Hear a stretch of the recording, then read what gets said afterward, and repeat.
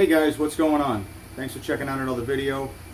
Today we're going to do um, we're going to do a headlight cleaning, repair, reconditioning. Uh, we know there's there's no shortage of videos on how to do this, and it wasn't something I really intended to do. My buddy Steve Rob up in Canada said I should do one, so I'm going to do one. I'm going to do mine a little bit different. I think a little bit different in the sense that most of the videos that are out there on this, and again, there's no shortage of them, and I'm not here to knock any one of them. This is my interpretation of how it should be done, or one of one of the very one of the accepted methods. I'm sure there are many. What I want to I want to go one step further. One thing that I see, or I, I don't see in a lot of the videos, is an explanation of why certain techniques work, why some don't, and why some only work for a short period of time. What is it that we're actually trying to do to fix this? Um, so I'll see if I can explain it a little bit so you understand what it is you're trying to do when you're doing it. Um, and see if we can get this done pretty simply in a short period of time and make it look pretty decent. So come along, let me explain it, and hope I get my point across. Um, that's it. Stick around.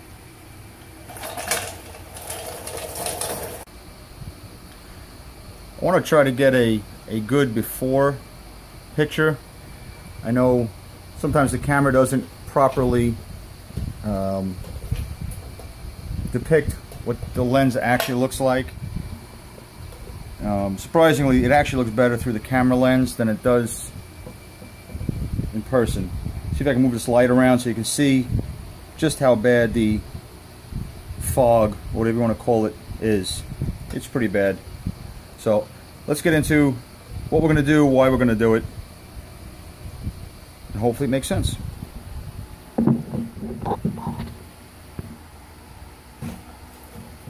Okay, here come my wonderful drawing skills.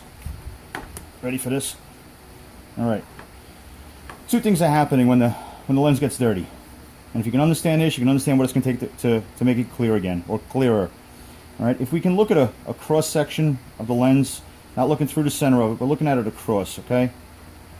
Let's say like this, and like that, okay? Here's your uh, here's your bulb. Okay, light shining outwards. This is the outside. As long as this remains flat and clean, you can see in it, light will come out of it. What's happening as you're driving, you're creating very small divots and rock holes and not want to say rock holes, but little gouges in the glass like that. Now, two things. First, even if it's clean, what that's going to happen is that it's going to deflect, I don't know if that's the right word, it's going to reduce your ability to see clearly through it. You're going to see reflections bouncing, instead of seeing straight through it, you're going to see reflections bouncing this way. So it's going to already start to look, it's kind of like a chip in a windshield. The only reason you can see the chip in the windshield is because there's air in there. And the air blocks your ability to see through it. All right, and that's kind of what's happening here. Second thing, these little these little holes now fill with dirt. So what are we trying to do? Well, we got to get the dirt out. And then if we can, we need to flatten this back out again as much as we can. And then seal it. That's really in a nutshell. It's really two things. And that's why a lot of these methods that a lot of these guys show is I've seen guys, oh, WD-40. I've seen, I've heard about toothpaste. I've heard, you know, rub toothpaste in it. Really, what you're doing is you're getting some of the dirt out and you're filling that void with something, and it could be anything. It could be a, a it could be a wax. It could be toothpaste. It could be an oil-based product like WD-40. It could be anything. And what that does, it reflattens the lens or fills the void with something so that now you can see straight through it, and it stops the light from being deflected, which makes it look foggy or cloudy. God, I hope that makes sense. All right? So what we're going to do is we're going to do three things. we're going to clean it, try to get the dirt out. Two, we're going to try to flatten this back out. And then three, we're going to try to put something protective over the top of it. Ready, set, let's go. Alright, there you go. If you look real careful, and I'm really, I'm actually using a magnifying glass with the camera lens, you can start to see, that's ah, tough, you can start to see some of the actual thousands of very small indentations in the plastic. And that's probably a better example of what it is we're trying to eh, what we're trying to fix. It's all of this little all those little holes. There it is right there. See that? That's what I'm trying to show you. That's the problem.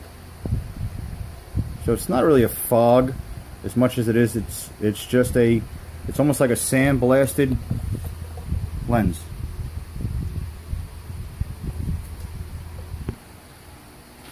And what I was saying before about filling the voids, even without doing anything to this glass, without flattening it all, I could take something that's a little soapy water, right? Wash some of the dirt out of there. Watch what's to happen. I'm to take nothing more than a little sponge, a little bit of water, and I'm just to wipe the dirt out.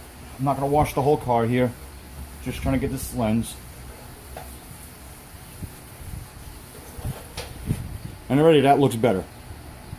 But when it dries, it won't. The only reason it looks better right now is because all of those little voids in the glass are now filled with water. And as soon as we get that dry, it'll come back. And that's, again, that's what I'm trying to, what I was trying to explain before. If you can fill, either get rid of the voids, the voids, the, the craters, the little microscopic craters, if you can fill them, or get, and or get rid of them, it starts to look clear. What's going to happen here is we get some thick towel. As soon as we start to dry it off, it'll start to fog up again. Uh, well, I shouldn't say it's going to fog up again. It will reveal the imperfections that were already there. Now we're just, we're just taking the water out of it. And, and again, I know it doesn't come out real great on camera, but we're pretty much back to where it was, other than I've taken some of the dirt out of the lens. Next step.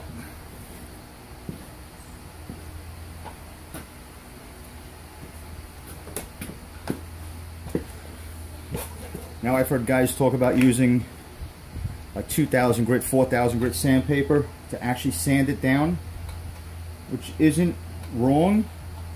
I don't know if it's completely necessary. I'm always afraid to go that far on a piece of plastic. But you can take a piece of 4000 grit, something very, very non-abrasive to try to knock this down. I'm to go with, I'm using, in case anybody's curious, I'm using Meguiar's 205 finishing polish and we're going to try to knock this down and let's see how flat we can get it.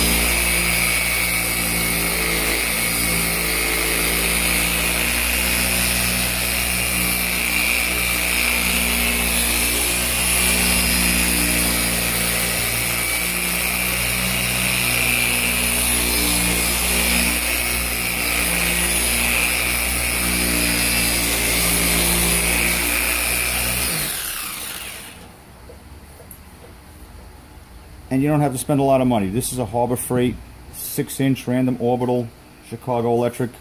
I think I paid 50 bucks for it. I'm not doing this on a professional level, so that works just fine for me. Let's see if we can take some of this out. And already it looks much better. Two things have happened. I've taken the taken the craters down a little bit and then filled it in with polish. So it's half fixed and half a mirage because I've only filled the craters. I haven't actually gotten rid. of, well, I've taken them down a little bit, but I've filled them. And I can still see a real lot of them right here. And you can keep doing this as much as you want, and as ridiculous as it sounds, grab a magnifying glass if you really want to see it. And you can really start to see the craters. If you want to go backwards, and instead of finishing compound, actually get a, um, instead of getting a polishing compound, actually get a, a rubbing compound. If you want to take this down a little bit heavier, you can do that. And just keep going lighter. Um, I don't think it's going to be necessary here. And again, I'm not looking to spend a ton of time on this. Um, so I do have other work to do. So I'm gonna hit, we're gonna hit this with a little more polish. I'll fast forward through this. And we'll see how it comes comes out.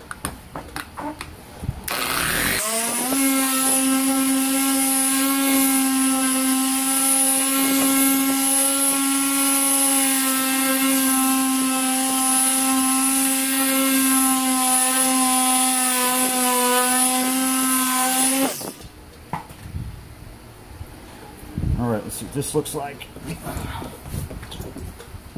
Hang on. And there's still, I could still see it. There's still, I can actually feel it.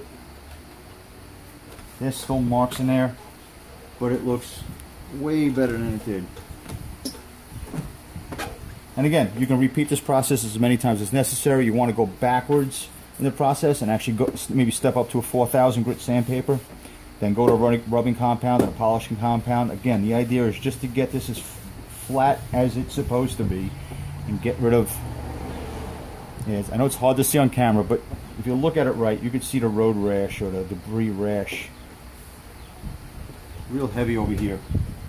So again, we can keep taking this down as much as we can. You can do this by hand. Obviously, it's going to take way longer. I like the machine because it's faster. Duh. So Last step is to fill in whatever craters are left and protect it.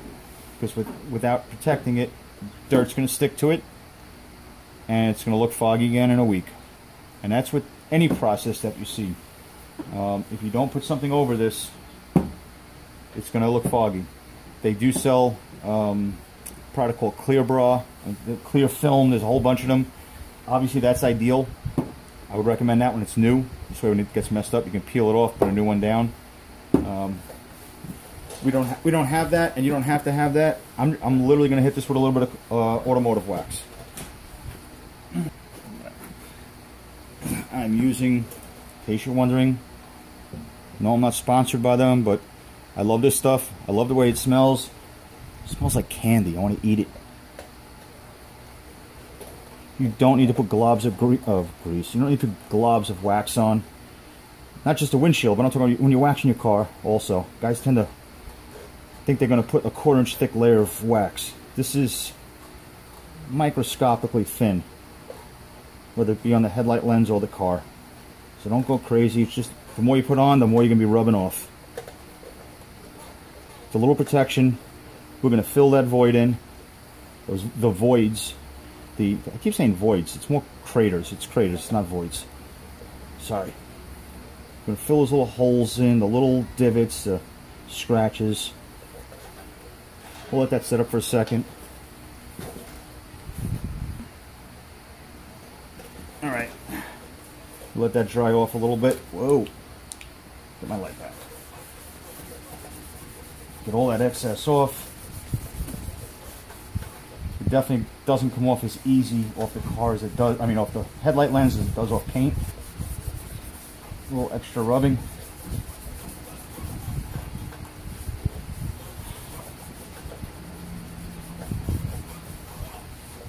And that's it. How's that look? A little better.